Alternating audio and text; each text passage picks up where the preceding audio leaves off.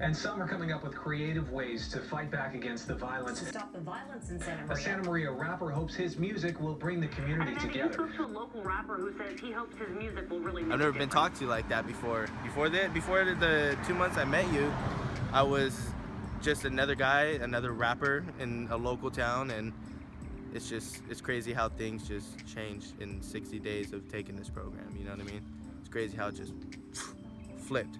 I entered the program knowing what I wanted to do, but not knowing what I was going to do.